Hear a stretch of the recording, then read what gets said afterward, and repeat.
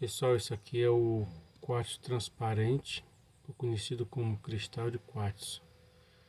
E além desse aqui, tem outras variações de quartzo, como por exemplo, tem um quartzo é, é, roxo, né, que é ametista, tem o quartzo negro, tem um quartzo azul, tem o quartzo verde, tem um quartzo rosa, tem o quartzo morion, tem um quartzo fumê, tem o quartzo citrino, que é o amarelo, né?